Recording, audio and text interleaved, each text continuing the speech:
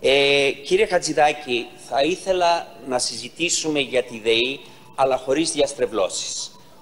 Όταν το 2015 ήταν η ΔΕΗ, ήταν η ΔΕΗ μαζί με την ΑΘΜΙΕ. Αλλά δεν μπορεί να συγκρίνεται την, ε, χρηματο...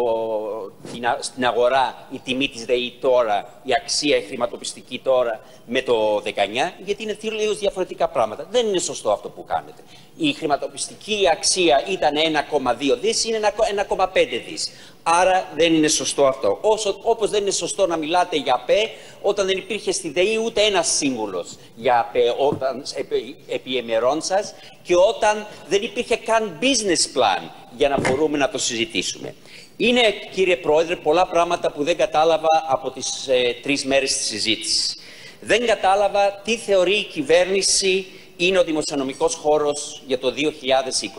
Δεν κατάλαβα τι θεωρείτε ότι κοστίζουν τα φορολογικά σας μέτρα που ανακοίνωσε ο Πρωθυπουργός για το 2020. Δεν κατάλαβα ποιες δαπάνες από τις δικές μας δαπάνες θα μείνουν και ποιες δαπάνες δεν θα μείνουν. Για παράδειγμα, για τη σύνταξη που δώσαμε.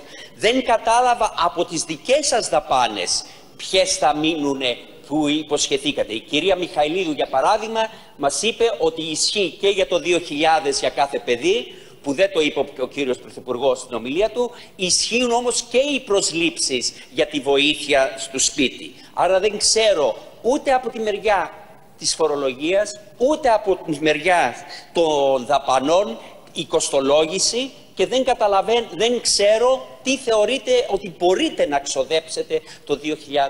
Δεν ξέρω δηλαδή αν μια δαπάνη υπόσχεση είναι καινούρια δαπάνη ή θα πρέπει να ισοβαθμιστεί, να, να υπάρχει κάποιο άλλο που κόβεται. Ελπίζω να έχουμε κάποια ενημέρωση κάποια για αυτά.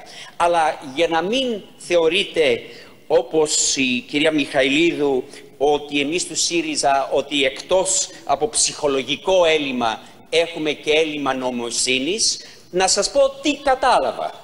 Κατάλαβα ότι η καταστολή και ο νόμος και η τάξη είναι βασικό σας, ε, βασική σας αρχή. Μάλιστα ήταν ό,τι είπε ο κάθε βουλευτής που ήθελε να πάρει ένα μικρό χειροκρότημα παραπάνω, έλεγε κάτι για τον νόμο, έλεγε κάτι για το Ρουβίκονα, έλεγε κάτι για τις φυλακές και έπαιρνε ένα μεγάλο χειροκρότημα, πολύ παραπάνω από οποιοδήποτε άλλη πρόταση.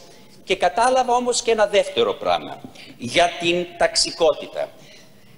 Το δύο, τα τελευταία δύο χρόνια, κάθε φορά που εγώ μιλούσα για ταξική μεροληψία, μου λέγατε πόσο απαράδεκτο είναι αυτό και πόσο δεν είμαστε όλοι Έλληνες και πρέπει όλοι να πηγαίνουμε μαζί και τι είναι αυτά για την ταξική μεροληψία.